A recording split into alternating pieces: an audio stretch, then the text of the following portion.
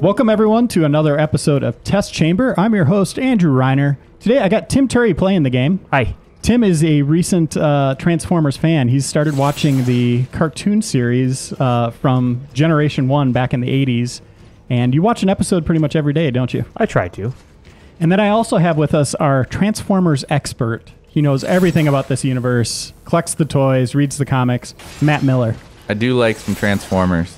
And Matt, you did the review for us on this. Uh, why don't you let us know what's going on with this game here? Yeah, sure. Well, right now we're uh, in the first kind of third of the game, uh, and we're playing as Jazz, a character who's familiar to anybody who remembers the old G1 cartoon. Uh, and Jazz is on a mission along with his buddy Cliffjumper to go find out what happened to Grimlock. Grimlock's one of the most powerful Autobots in uh, in the Autobot army, and he uh, appeared to abandon his post along with his whole squad. And so now we're trying to find out where he went. It's kind of cool. That's I've been- interesting. I've been playing through the game, and you just see this trail of destruction that you're following. That Exactly. is Grimlock's wake. It's pretty Yeah. awesome. What's interesting about that too is having watched some of the uh, you know the '80s cartoon is that the Dinobots I think have like deserted the Autobots at least twice I th- for varying reasons. You know whether it's Decepticons sort of tempting them to strike out on their own or whatever. So that's that's pretty consistent with what happened. Yeah, they do a great job in the game of like even if they're not directly copying individual storylines from the old Generation One cartoons, there's so many homages to them, just like what you're talking about. The the Dinobots act a way that is like what they acted like back in the old cartoons or in the old comics. Um, And this is kind of a call out to the uh, the Insecticons. Oh yeah, Insecticons are a really big, important part of this particular game. Uh, we learn a lot more about them and their connection to Shockwave later in the game. But right now, Jazz is sort of encountering them uh, for the first time, and uh, they're Insecticons in, in this version of the fiction are these kind of subterranean dwelling creatures on Cybertron, and they've begun emerging onto the surface um, in the wake of the uh, the core shutting down in the last game in War for Cybertron, and that's causing all sorts of problems. There it Nice. goes. And I've been playing through the game at home, and I got to say the production values are through the roof. It is pretty. Yeah, every little room you go into, the the animations on the Transformers, it seems like it's every bit as big of a production as like a Call of Duty for Activision. Oh, no doubt. In fact, I think that's a good game in some regards, not every regard, to compare uh, to. There's a there's a lot of elements in Transformers: Fall of Cybertron that are about delivering these big, crazy set piece moments with explosions and big story events, very like a Call of Duty game. Uh, one of the things, though, that makes it different is that uh, there's a lot of other systems at play that you might not have in a traditional Call of Duty single player game. Not the least of which is like a weapon upgrade system, crazy individual character powers, which you just saw uh, Tim kind of grappled up uh, to a to higher ledge. That's Jazz's special powers. This this like awesome grapple hook that he's got. Um, and every every different character you play has a different one. I gotta point out, Tim, you got to get uh, get moving. Oh, am I timed right now? Yeah, Oh yeah, you want to get out of here? Okay, let me let me do that. pull that down. So Jazz has this this grapple hook, which is really cool. Uh, it's used later in a amazing sniper sequence where he has the sniper rifle and he's going against these Destroy those things. almost The like Dinobot things. like swoop Insecticons that are There you go. are Where flying around with sniper rifles as well. Yeah, it's super cool. Um, it's one of the most unique sniper sections I've seen in a game recently because it's all like, uh, it's all about mobility. Usually, when you have a sniping sequence, it's about like, I'm gonna settle down in this one area and take these guys out. And uh, this game has this awesome sniping sequence with Jazz where if you do that, you're gonna die. You yeah, you're const- constantly moving. Yeah, it's really neat. I died. You did. It's okay. I'm it happens sad to the best that. of us. But Oh, I should point out, I I don't think we pointed out earlier that um, at one point Tim made uh, the wrong move. He went back down to the original starting point where we started this, and on the wall was one of the Dinobots Mm-hmm. in like a stasis pod. Talk about the story a little bit, Miller. Yeah, so like I said, Grimlock and his uh, Lightning Strike Coalition, as they are called prior to the time that they become uh, Dinobots, which is actually an homage to some of the old comics. Uh, the Lightning Strike Coalition, they abandon their posts, and it causes all sorts of problems for the Autobots because the Decepticons are able to breach their lines. So the question becomes like, why did Grimlock abandon his post? And so what uh, what we discover in this level is that at least one of the Dinobots is met with a pretty grim fate, and he's Grim uh, fate. uh, that was that was a good one, Tim. Thanks. Uh, and and is is stuck in stasis lock down in this underground area. There's a little Matrix moment for you there. That was dramatic. Uh, shoot those things behind you. But later on, we learn that uh, some of the other Dinobots, it's not quite so, uh, uh, not so quite so cut and dry. Um, as I think most people have been following this game know, Grimlock is still around, and he plays a pretty big part in the latter part of the game. Now, I was a big fan of the Generation 1 comic books. Oh, yeah. Uh, that's probably my favorite Transformers fiction. Like the old Marvel ones, right? Yep. It- which is great because they're continuing them now over at, uh, is it IDW that Yep, has it? exactly.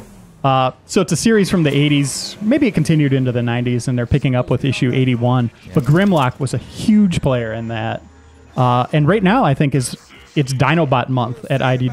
Totally so is. every one of their comics is is Dinobot related.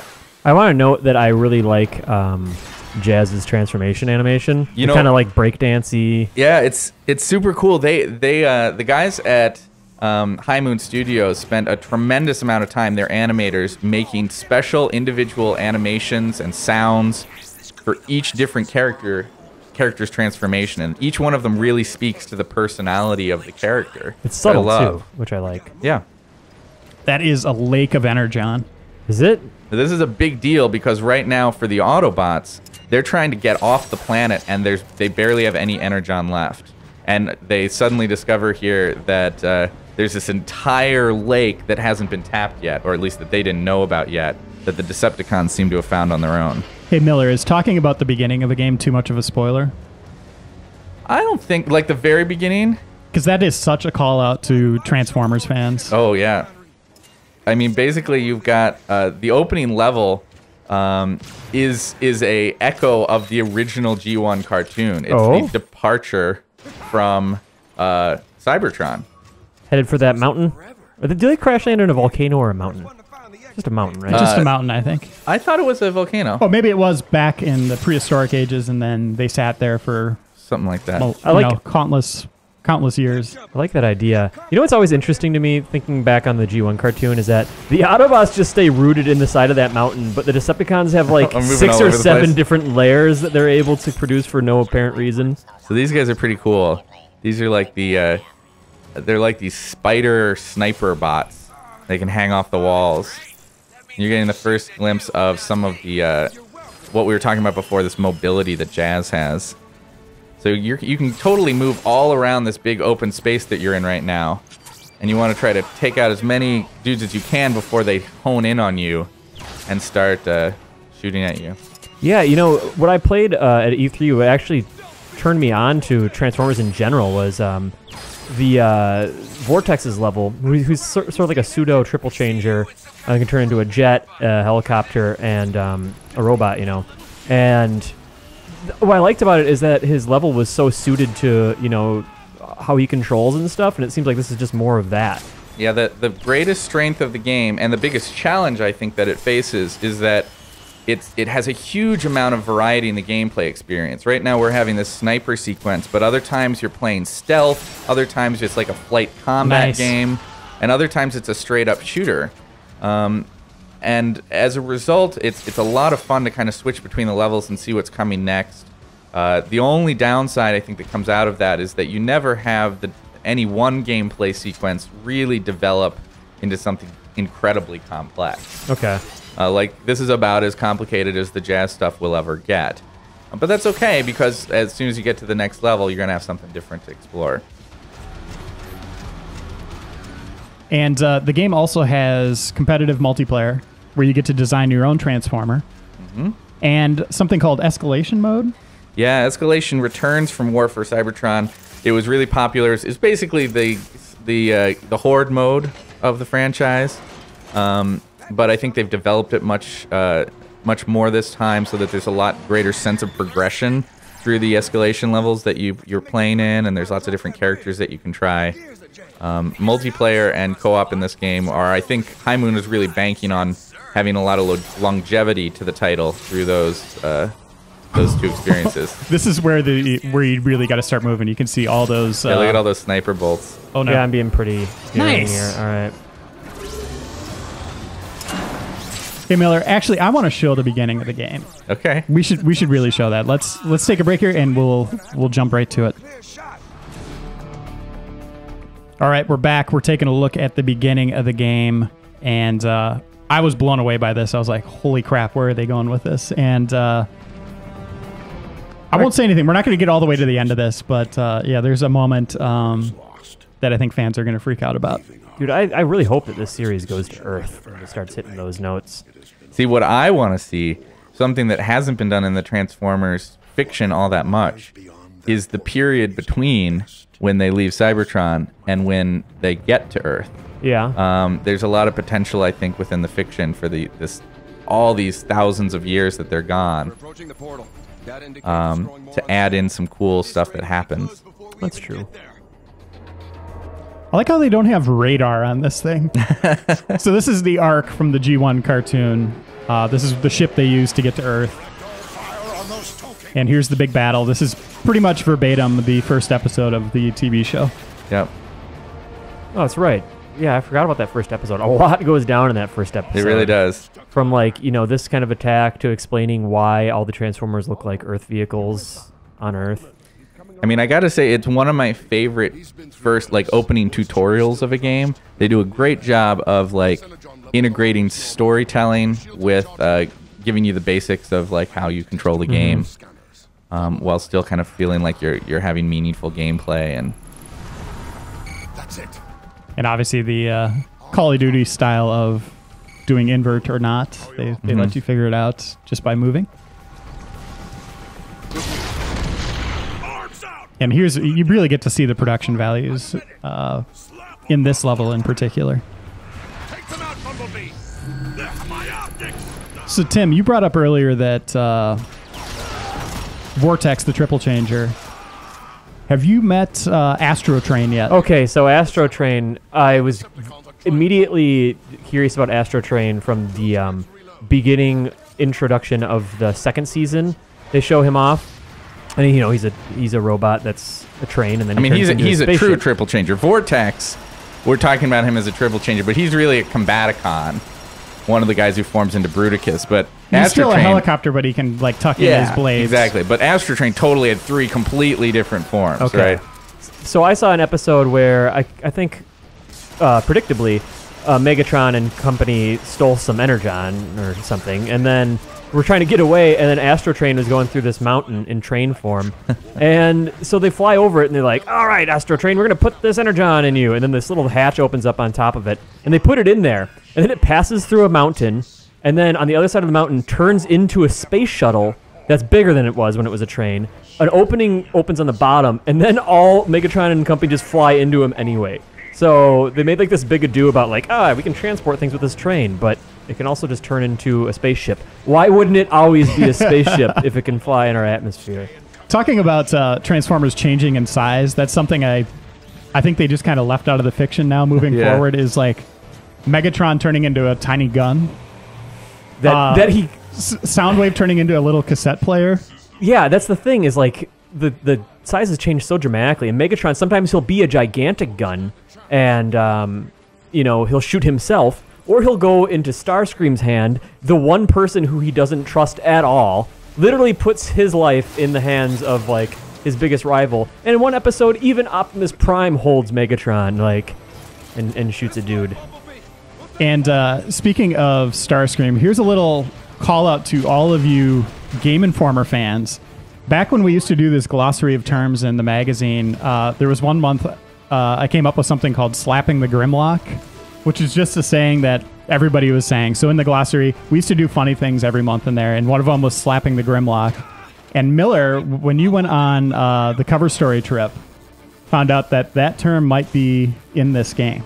Yeah, you know, I haven't found it yet, but supposedly, uh, we, we talked to Tej, the creative director uh, of Fall of Cybertron, and he loved this story of the idea that we at one point in our magazine had come up with this idea of slapping the Grimlock, and it had never really been described exactly what it was all about, but it was kind of this funny phrase. What is slapping the Grimrock, Grim, Grimlock? then? No, no one knows. Whatever you but want it's it a to cool be. thing. All the all the kids are saying. Oh, okay.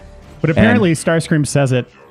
We think that it that At he some point in actually this game. followed through. The teach followed through and ended up putting it somewhere in the game as a little little secret nod. So people are gonna have to watch out for that uh, and see if they can find what it. What makes you think that Starscream says it?